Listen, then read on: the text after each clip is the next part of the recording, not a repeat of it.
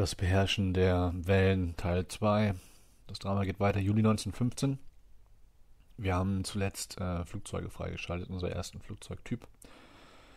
Hier ein Floatplane Scout, also ein kleines Aufklärungsflugzeug. Ähm, Frage ist noch, wie wir die jetzt genau zum Einsatz bringen, auch engine-seitig. Habe ich das noch nie gemacht. Äh, ich weiß inzwischen, dass man, sobald man Flugfelder hat, dort äh, Staffeln beziehungsweise Geschwader oder ähnliches, wir müssen uns das angucken, sobald es freigeschaltet ist, ähm, aufstellen kann und die werden dann automatisch bevölkert von, von Programmen. Aber darüber hinaus, wir haben noch keine Airbase. Wir gucken uns dann an, wenn, wo ist es hier, wenn in der nächsten Runde da was fertig wird. Aber ich denke mal, diese Floatplane Scouts sind ohnehin eigentlich für den äh, schiffsseitigen Einsatz gedacht.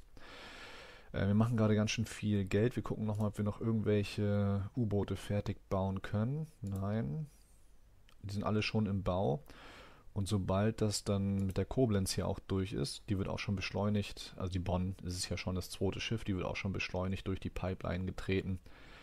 Ähm, gucken wir, dass, ähm, dass wir das Geld erstmal sparen für das nächste Großkampfprogramm. Wir sind da ein bisschen hinterher, wenn wir bei den Italienern reinschauen. Die bauen ja gerade ein ziemlich großes Schiff, 28.000 Tonnen.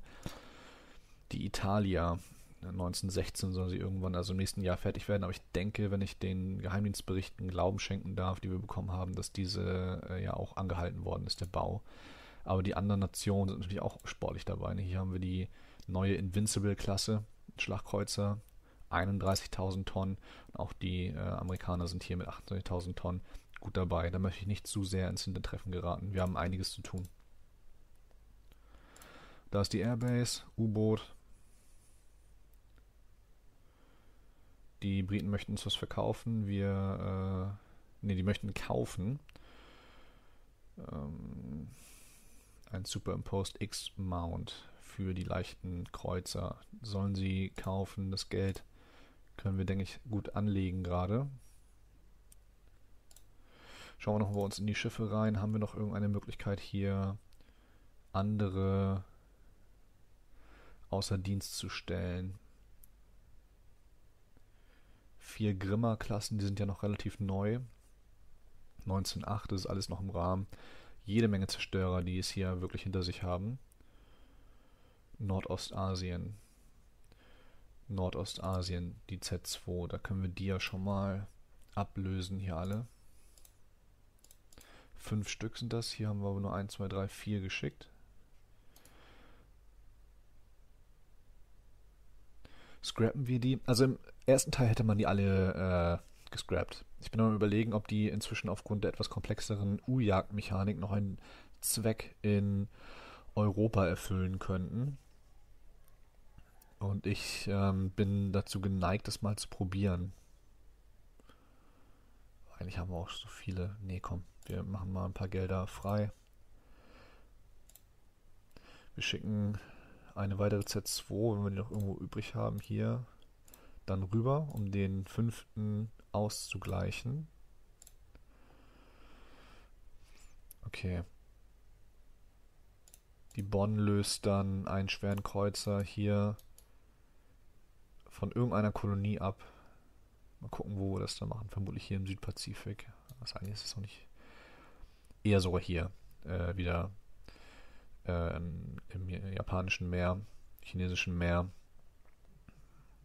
Hier ist es mir nicht wichtig genug. Der Südpazifik, müssen wir da eigentlich überhaupt irgendwas hinschicken? Ich glaube, ich bin mir gar nicht so sicher, ob das überhaupt eine, eine Pflichtveranstaltung hier unten ist. Wir lassen die mal da. Jetzt ähm, möchten uns die Briten auch was verkaufen. Improved Face Hardening für eine anderthalb Millionen. Nehmen wir. Also wieder Gewichtseinsparung bei, ähm, bei der Panzerung. Wir fahren das hier mal ein bisschen runter. So viel müssen wir auch nicht mit Italiener wissen. Äh, Qualität 0. 12 Zoller, nicht schlecht. Und hier haben wir jetzt das neue, den neuen Floatplane Scout. Wusste ich auch nicht, dass wir hier nochmal warten müssen. Aber es ist auch ein gutes Stichwort. Dann können wir hier wirklich mal in die Air Groups reingehen. Jetzt haben wir hier genau diese diese Basis, Base Name, was steht denn da im Tooltip? Na komm. Base Name plus Actual Aircraft, Authorized Strength. Was war das dritte? Kapazität vermutlich, ne? Base Capacity, genau. Ähm, schauen wir mal. Select all. Nein. Okay. Macht das Ganze wieder zu.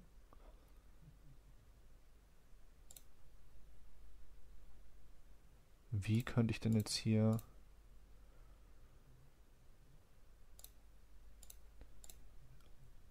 eine ein Geschwader aufstellen? Das wäre mal interessant zu wissen. Oder funktioniert es doch anders, als ich mir gerade denke? Ich, hoffe mal schon. Ansonsten wäre ich hier nämlich gerade recht ahnungslos. Aber nochmal, Floatplanes haben ja per Definition keine Rollen, richtig? Die können ja nur im Wasser landen. Ich meine, was in Wilhelmshaven jetzt auch nicht das größte Problem wäre, ja. Aber es kann natürlich sein, dass die Engine hier meint, das ist ein Flugplatz und dementsprechend kann man hier auch keine Floatplanes, keine ähm, Wasserflugzeuge landen. Dann ist es halt so. Ich vermute mal fast, das steckt dahinter. Super. Noch größere Kapazitäten in den Docks. Langsam müssen wir auch mal gucken. In fünf Monaten kommt dann nochmal unsere subventionierte Größe, Kapazität hinzu und dann haben wir auch genug Geld, um das hier mal wieder anzugehen. Secondary Turrets für Schlachtschiffe, das sind die Russen. Sollen sie machen.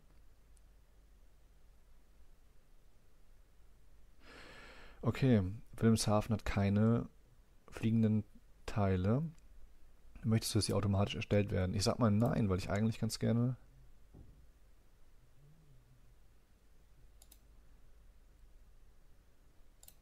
So, jetzt kommen auch die, ähm, die großen Oshis dazu. Gucken wir mal. Okay. Was ist uns bei den Flying Boats wichtig? Die Reichweite. Übrigens habe ich auch nachgeschaut, was hier Light, Medium, Heavy bedeutet. Das ist eigentlich relativ klar. Nämlich entsprechend der Bombenlast ähm, reduziert sich die Reichweite. Ich war mir aber nicht darüber im Klaren, dass es überhaupt geht im Spiel. Das war mir neu. Aber es ist ja an sich ganz einleuchtend. Ich weiß auch nicht, inwiefern die, ähm, die Seefernaufklärer hier überhaupt Bombenlast mitnehmen können und welche dieser Reichweitenbänder jetzt eigentlich für, die, für den Normalfall gilt. Aber auch da werden wir sicherlich dann äh, sehen, wie das Ganze funktioniert, sobald es soweit ist und schief geht. Also Range Medium, wer kommt hier am weitesten? Da haben wir die 133 Meilen. Ebenfalls von Blom und Voss. Äh, das hier war was? Manöver. Toughness 7, auch recht hoch. Dafür ein bisschen langsamer als der Rest. Aber damit kann ich leben. Den nehmen wir.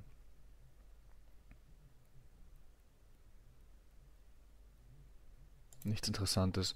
Jetzt nochmal zurück zu den Air Groups. Vielleicht seht ihr was, was ich nicht sehe. Ah, Rechtsklick. Add Air Unit. Float Plane Scout. Dann machen wir doch mal die 20 voll, oder? Naja gut, wenn wir jetzt bald die Seefernaufklärer bekommen, dann machen wir doch lieber mehr Fernaufklärer. Das scheint mir irgendwie sinnvoller für so einen äh, Stützpunkt. Dann machen wir hier erstmal 7 und dann haben wir noch 13 Plätze frei für die Fernaufklärer. Warum nicht? Ja. Super, haben wir das auch mal geklärt. Das wird sicherlich interessant. Bonn Okay, irgendwelche neuen Technologien im Bereich äh, der Sprengtechnik, das soll uns auch recht sein.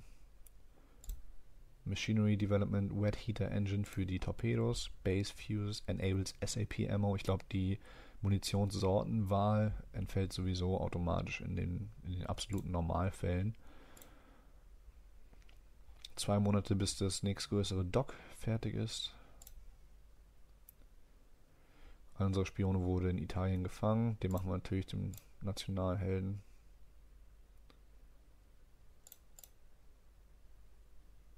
Jetzt können unsere hm, super, noch mehr Geschützverbesserung. Unsere Luftschiffe können Bomben tragen.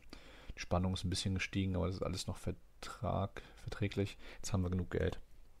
Ich denke, wir haben genug Geld, um mal zu schauen, ob wir es schaffen, zwei Schlachtschiffe durchzukriegen. Wir lassen das ganze Auto designen. Wir haben noch einen Monat, ne? Ich glaube, können wir denn jetzt schon die Größe sozusagen auf die zukünftige Dockgröße anpassen? Ich glaube nicht, wir warten noch mal einen Monat.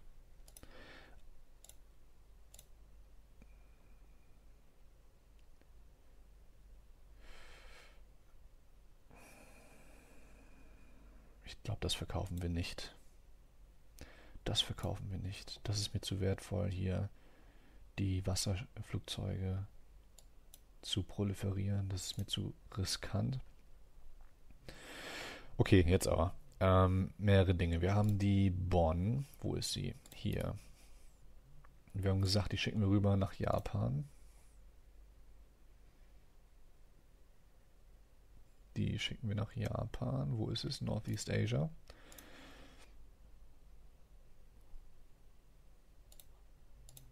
Und jetzt sind wir hier wieder. Design Battleship. Ja, machen wir erstmal automatisch. Gucken uns das Ganze an. Ich hätte ganz gern, genau, die großen Kaliber. Hier die 16 Zoller. Was ist denn das übersetzt? Was haben wir vorhin? 14 Zoller und 35 Zentimeter, ne? 16 40 Zentimeter. Äh, das ist schon mächtig. Wir sind bei 31.000 Tonnen Displacement. Das ist mir eigentlich ein bisschen zu klein dafür, dass wir jetzt die, äh, die Docks nochmal ausgebaut haben. Aber wir können ja mal schauen. Holstein-Klasse soll es sein. Wir können ja mal schauen. Wir haben 1, 2, 3, 4 Türme mit jeweils Drilling. Das sind dann ja auch 12 Geschütze. Nicht schlecht. Wir haben einen Gürtel von 12 Zoll. Wir haben Ölbefeuerung. Eine Short Range. Die möchte ich ganz gerne mindestens auf Medium erhöhen. Wir haben eine Belt Coverage von normal, das ist auch gut so. Belt Extended 3 Zoll. Ich tendiere dazu, es im Nachhinein, wenn noch ein bisschen übrig ist, höher zu drehen, weil diese 3 Zoll haben es, glaube ich, der Königsberg recht schwer gemacht. Deck 3,5 bitte. Deck Extended 1,5. Cunning Tower 10 passt. Turrets äh, 12. Turret Top 5. Wir können alles wieder runterstellen, wenn wir merken, es geht am Ende einfach nicht auf. Secondary ist 5 Zoll. Das ist mir auch in Ordnung, mir recht. Hier drüben brauchen wir mehr Munition. Das kriegen wir nicht mehr unter. Wir schauen mal, wie weit wir kommen. Director 2 Stück. Was Besseres haben wir auch noch nicht. Cross-Deck Fire brauchen wir nicht. Secondary Guns und Tertiary Guns. Äh, hier haben wir jetzt den, die 4 Zoller verbaut. Das ist okay. Und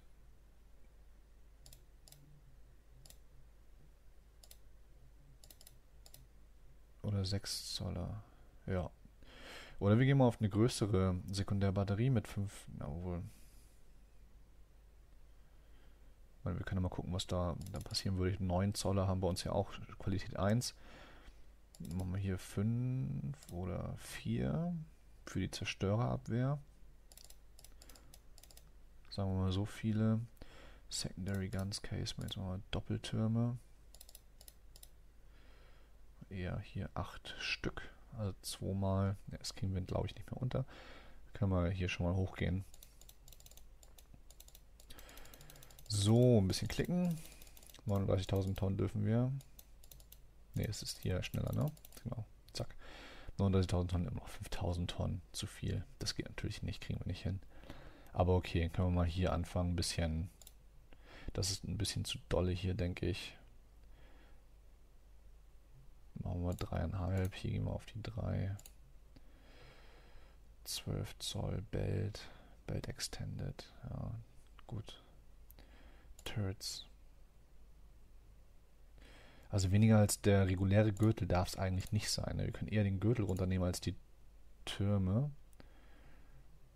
Mal 11,5. 23 Knoten ist auch nicht irre viel. Eine höhere Torpedo-Defense haben wir auch noch nicht.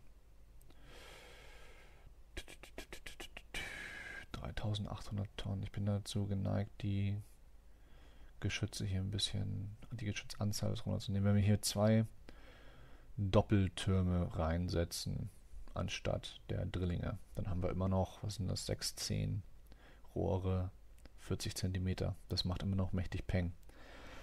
Es ist nicht so, dass mir das große Sorgen bereiten würde, wie das Schiff hier austeilt, wenn wir es so ausstatten. Wir nehmen das mal runter hier, den hier und den hier. Und sagen, ne, den wollte es eigentlich nicht, die Stopp, Aft. Den Drilling, bitte. So, dann ist der wieder da.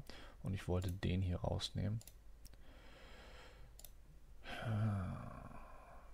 Was, wenn wir Aft und Forward Superimpose nehmen? Die wiegen natürlich mehr wegen der wegen dem Sockel, wegen der Barbette. Können wir gucken, 1800 Tonnen.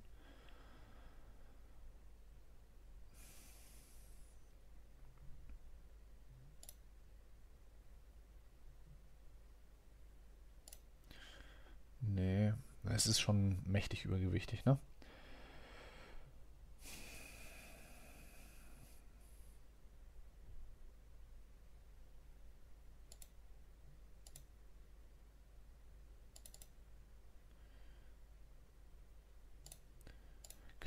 Turrets Add. Wir machen mal nur Zwillinge.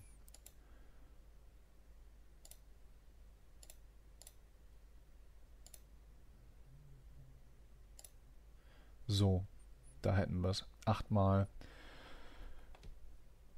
40 cm. Wir haben zu Beginn des Spiels eigentlich auch gesagt, ähm, dass wir hochwertiges, weitreichendes Feuer ausliefern möchten. Und es würde ja ins Konzept passen. Das Einzige, was mich hier stören würde, wäre soweit, was ich jetzt so überblick, die schlichte Anzahl an Hauptgeschützen. Aber dafür machen die halt auch mächtig Wumms. 761 Tonnen drüber. Wenn ich jetzt einen Blick auf die Panzerung werfe, 23 Knoten, ist okay. Gürtel 11,5. Feld Extended. Das können wir da nochmal ein bisschen was machen. Prinzipiell schon.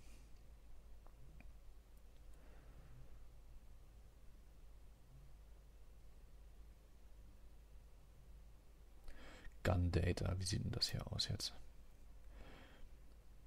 Wir können auf eine sehr hohe Entfernung 3,9 Zoll durchschlagen.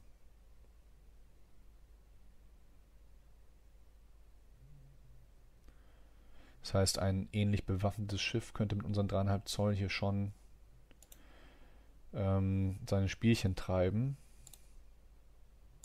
Aber das geht nicht. Wir kriegen es nicht auf die auf die 4 erhöht. Na, warum passt es jetzt nicht? Achso, hier, ein halber Zoll zu viel. Ja, wir könnten ja zumindest gucken, ob wir die, die Türme selbst nochmal ein bisschen dicker machen können. Das geht.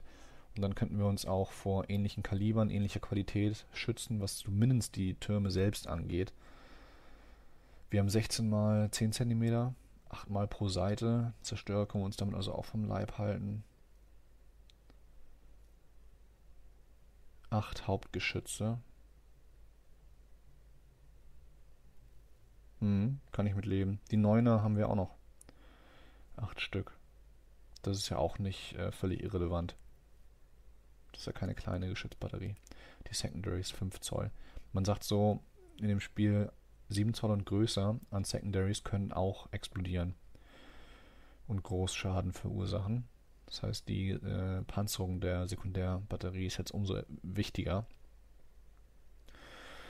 Aber ich glaube, so ein Design haben wir noch nie gebaut. Ich glaube, mit 5 Zoll, Zoll Panzerung sind wir damit recht gut bedient. Ja. Okay. Ich denke, das nehmen wir so. Wir fragen mal, wie sieht's aus? Alles okay? Speichern. Kostet uns 8 Millionen und braucht nochmal 4 Monate. Okay. Mhm. Super, die 7 Scout Planes haben wir jetzt auch schon. Super. Und wir haben die Pläne der Invincible. 15 Zoll 8 mal. Na super. Seht ihr. Also, wir haben 8 x 16 Zoll, die haben 8 x 15 Zoll. 11,5 Zoll Panzerung. Jetzt weiß ich gerade nicht mehr, was wir zum Schluss hatten. 2 Zoll Deck. Sind bestimmt schneller. 28 Knoten. Ja, das ist natürlich, das merkt man dann schon. 5 Zoll Sekundärbewaffnung. Können wir mit klarkommen. Die sind nur schneller als wir. Das ist alles. Vermutlich haben wir jetzt auch wieder Torpedo-Lafetten, weil ich die nicht rausgenommen habe. Und die KI ja ganz gerne mal welche reinsetzt. Okay, aber wie das weitergeht, schauen wir uns in der nächsten Folge an. Würde mich freuen, wenn ihr wieder einschaltet. Schreibt mir eure Gedanken.